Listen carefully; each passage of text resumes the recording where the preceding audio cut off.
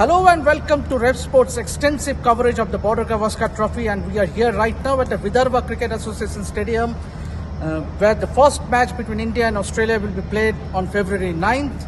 And as you can see, the practice sessions of both the teams just got over. With the Indian team just finishing up their training session, and with me to join and talk more about the preview and the build-up and the excitement surrounding this test match. And it's a special occasion.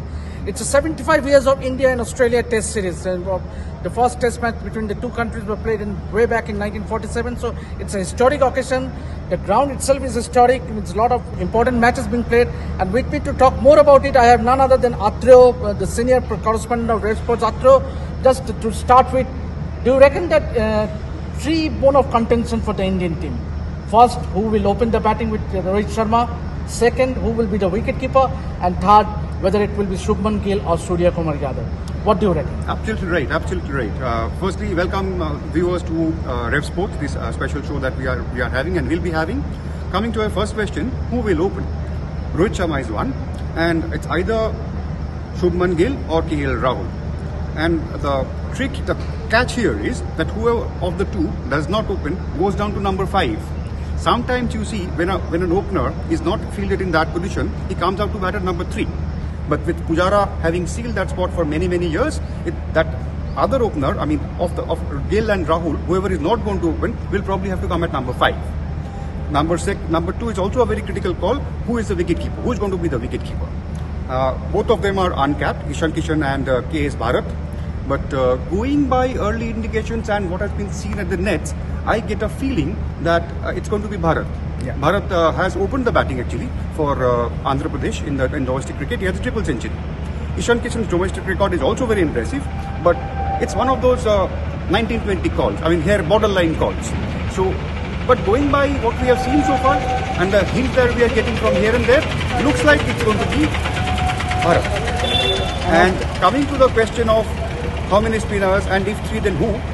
I think uh, India is going to go in with three spinners because Australia's strength is fast bowling. So Indians will make sure that they don't uh, they, they, don't get that advantage over here.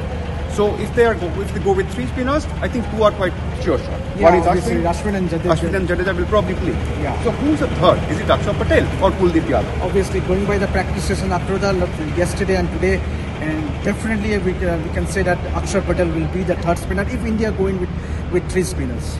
Yeah, I mean that's that's logical also because. Uh, Akshar, Akshar Patel has taken a lot of wickets in the in the handful of matches that he has played. He has, he's been phenomenally successful. He's a handy blower of the bat as well.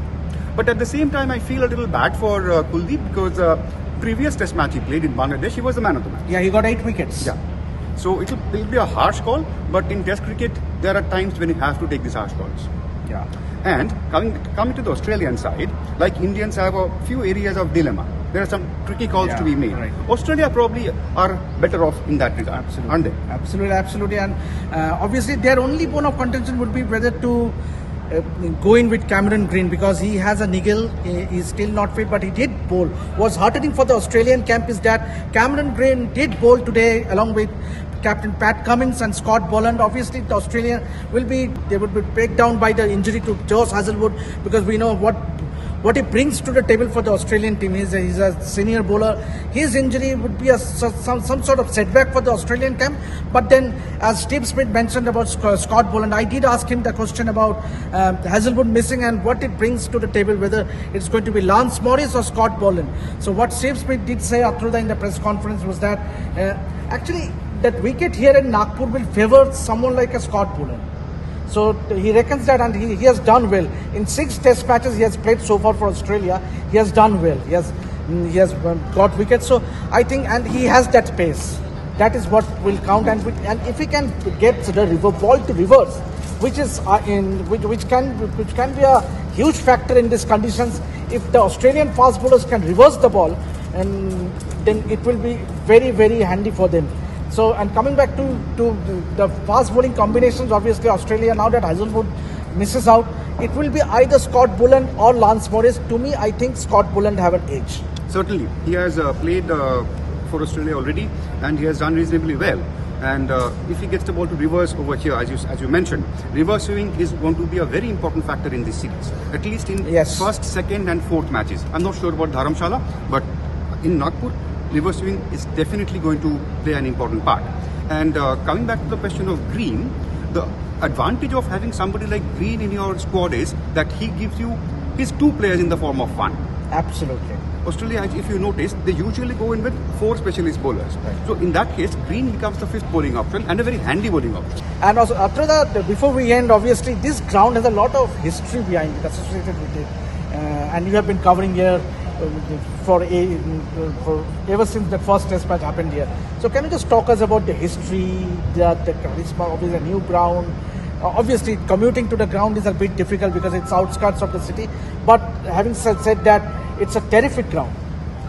It is, it is. I mean, it's a, it's a, it's a, very- it's a very beautiful stadium. Although it's a little far away from the city, it's a very beautiful stadium, very spacious. There are lots of space, empty space here, and there are there are uh, practice pitches are fantastic. They're outside the main ground, and it's very spacious. The uh, coming back to test matches over here, uh, it's a it's, it's been a happy hu- hunting, hunting ground for India. Don't forget that. They they have played six matches over here, won four, lost one, and drew one. And as you were talking about history, there are it's although only six matches have been played here, it's been a very eventful uh, venue actually. The first ever Test match played over here, India and Australia, 2008. It was Sourav Ganguly's farewell Test match. In 2012, India played England over here. The match was drawn, and that was Joe Root's debut. In between, in 2010, Dale Steyn uh, put in a fantastic uh, spell of fast bowling over here to bundle India out for not very much, and South Africa won the match, which remains India's only defeat in this at the, at the. There was also a bit of controversy, if Yes. you remember. Again, India and South Africa, 2015, match got over early into the third day. It was a rank turner.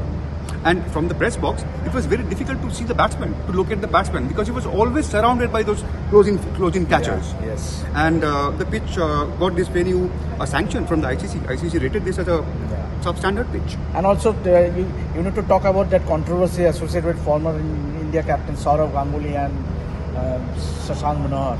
Yeah, yeah. Although it was not here, it was it was in Nagpur, but that was at the old VCA stadium. Okay. When in 2004, uh, Nagpur presented gifted Australians a very fast and, and, greenish wicket, a, a wicket with a lot of green green and a lot of bounce in it, and they made most of it. They won the series here. That's absolutely. The final frontier. Yeah. So that's it for now, viewers. Uh, so keep watching this space, keep watching RevSportz to get all the exclusive coverage throughout the Border Gavaskar Trophy. Atroda will be covering the series throughout for RevSportz and keep watching this space. And do subscribe the YouTube channel and also download the app to get all the news throughout the Border Gavaskar Trophy. Until then, this is me, Debasis, signing out with Atreyo. Goodbye. Goodbye. Keep watching. Keep watching their sports.